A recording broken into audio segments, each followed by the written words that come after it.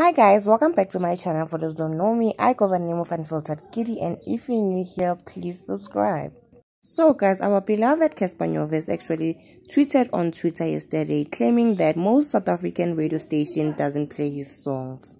So what he actually wrote on Twitter was, I quote, Never had a number one song on radio station in my career with so many big songs including Siyathandana. Not once. Shout out shout out to the radio station that are giving the song the airplay it deserves. I am loved and supported by people, though they keep me going. So that's what we celebrate, guys.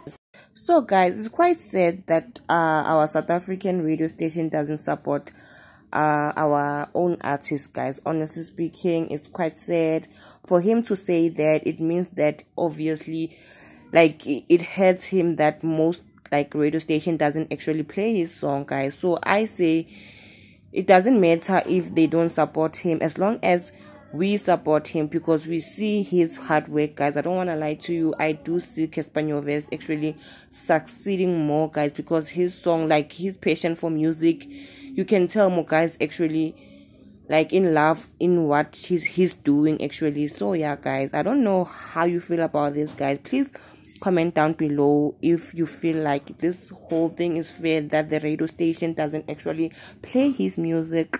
Please comment down on my comment section and like this video and subscribe for those who haven't. Bye guys